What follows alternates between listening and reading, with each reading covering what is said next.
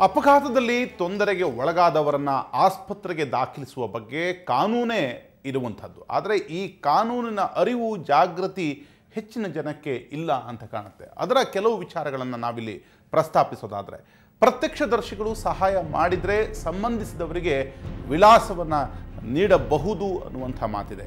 ಪೊಲೀಸರು ಅಂತಹ ವ್ಯಕ್ತಿಗಳಿಗೆ ಬೇರೆ ಯಾವುದೇ ಪ್ರಶ್ನೆಗಳನ್ನು ಕೇಳಬಾರದು ಅನ್ನುವಂತಹ ಮಾತು ಕೂಡ ಅಲ್ಲಿದೆ. ನಿನ್ನೆ ನಡೆದಂಥ ಘಟನೆಯಲ್ಲಿ ಕೂಡ ಇಂತಹದ್ದೇ ಪ್ರಶ್ನೆ ಇತ್ತು. ಪೊಲೀಸರು ತೊಂದರೆ ಕೊಡ್ತಾರೆ ಅಂತ.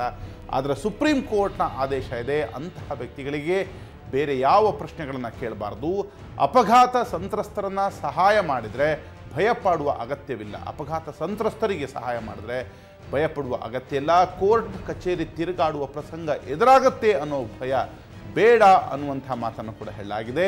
ಸಂತ್ರಸ್ತರ ನೆರವಿಗೆ ಬರುವ ವ್ಯಕ್ತಿಯನ್ನು ಪೊಲೀಸರು ಯಾವ ವಿಚಾರಕ್ಕೂ ಬಲವಂತ ಮಾಡಬಾರದು ಅನ್ನುವಂಥದ್ದನ್ನು ಕೂಡ ಸುಪ್ರೀಂ ಕೋರ್ಟ್ ಹೇಳಿದೆ.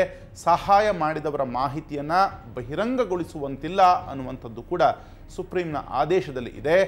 ಖುದ್ದು ಹೆಸರು ನೀಡಿದ್ರೆ ಪೊಲೀಸರು ಒಂದೇ ಬಾರಿಗೆ ವಿಚಾರಣೆಯನ್ನು ಮುಗಿಸಬೇಕು ಅನ್ನುವಂಥದ್ದು ಕೂಡ ಇದೆ. ಆ ವ್ಯಕ್ತಿಯನ್ನು ನ್ಯಾಯಾಲಯ, ಪೊಲೀಸ್ ಠಾಣೆ ಎಂದು ಅಲೆಸುವಂತಿಲ್ಲ ಅನ್ನುವಂಥದ್ದು ಕೂಡ ಸುಪ್ರೀಂ ಕೋರ್ಟ್ನ ಒಂದು ಖಡಕ ಆದೇಶ ಇರುವಂಥದ್ದು. ಗಾಯಾಳುಗಳನ್ನು ಆಸ್ಪತ್ರೆಗೆ ಕರೆತರುವ ವ್ಯಕ್ತಿಯನ್ನು ಬಂಧನಕ್ಕೆ ಒಳಪಡಿಸುವಂತಿಲ್ಲ ಎನ್ನುವಂಥ ಮಾತನ್ನ ಕೂಡ ಸುಪ್ರೀಂ ಕೋರ್ಟ್ ತನ್ನ ಆದೇಶದಲ್ಲಿ ಹೇಳಿದೆ. ಚಿಕಿತ್ಸೆಗಾಗಿ ಹಣ ಕೊಡಿ ಅಂತ ಸಹಾಯ ಮಾಡಿದವರನ್ನು ಮಾಡುವ, ಮಾಡಿದವರನ್ನು ಕೂಡ ಕೇಳುವಂತಿಲ್ಲ. ಆ ವ್ಯಕ್ತಿ ಹಾಜರಾಗದಿದ್ದರೆ ವಿಡಿಯೋ ಕಾನ್ಫರೆನ್ಸ್ ಮೂಲಕವೂ ಕೂಡ ವಿಚಾರಣೆ ನಡೆಸಬಹುದು ಅನ್ನುವಂಥ ಮಾತನ್ನು ಹೇಳಲಾಗಿದೆ ಇದಕ್ಕೆ ಅಧಿಕಾರಿಗಳು ಸೌಲಭ್ಯವನ್ನು ಕಲ್ಪಿಸಬೇಕು ಅಂತಲೂ ಕೂಡ ಸುಪ್ರೀಂ ಕೋರ್ಟ್ ಆದೇಶವನ್ನು ಕೊಟ್ಟಿದೆ. ಇದೆಲ್ಲವನ್ನು ಕೂಡ ನಾವು ಗಮನಿಸಬೇಕಾಗತ್ತೆ. ಸಂತ್ರಸ್ತರಿಗೆ ಚಿಕಿತ್ಸೆ ನೀಡಲು ಯಾವುದೇ ವೈದ್ಯರು ನಿರಾಕರಿಸಿದ್ರೆ ಅವರ ಮೇಲೆ ದೂರನ್ನು ದಾಖಲಿಸಬಹುದು.